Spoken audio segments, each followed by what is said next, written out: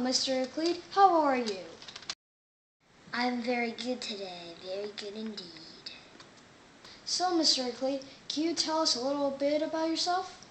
I was born on November 22nd, 1729 in Béarn, France. I arrived in New Orleans, Louisiana in 1755.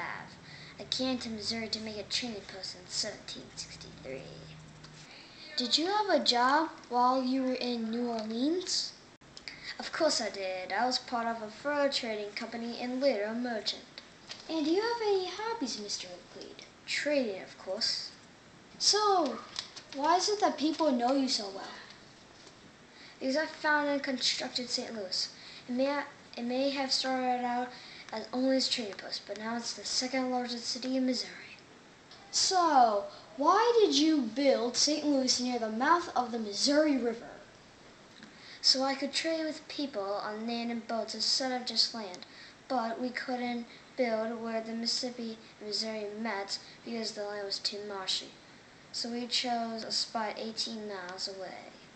What kind of settlement did you make St. Louis? A frontier settlement. There was no one there when we got there. And did you live in St. Louis yourself?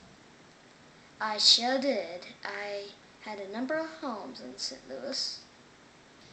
I understand that your stepson's father was a friend of yours. Is that true?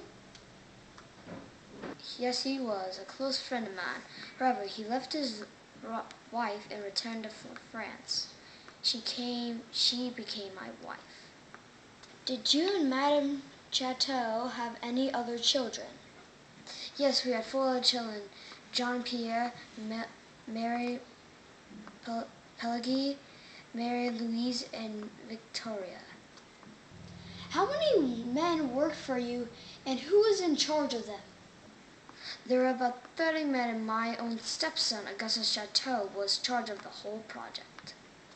When did you put Chouteau in charge?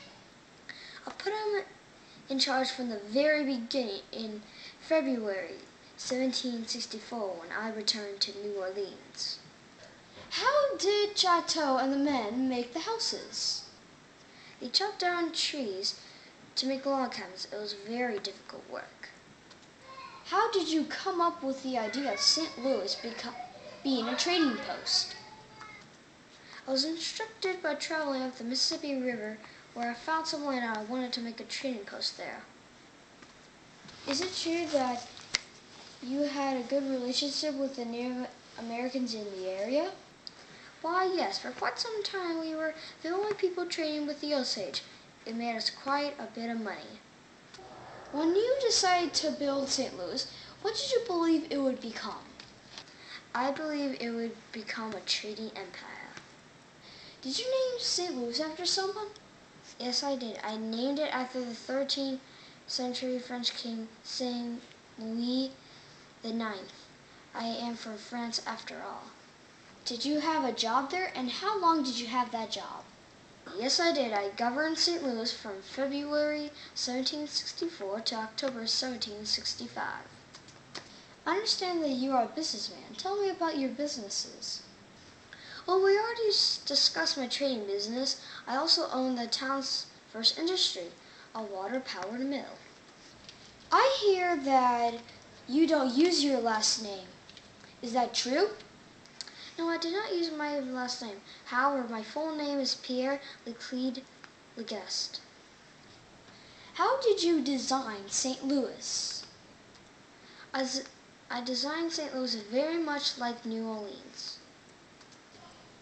Did you ever imagine yourself being inducted into the St. Louis Walk of Fame? No, I never even imagined that I would become that famous. You can go and see my star at 6317 Delmar. And that concludes our interview with Pierre Laclede. Laclede died near the mouth of the Arkansas River when heading back to St. Louis from New Orleans. He was buried in an unmarked grave.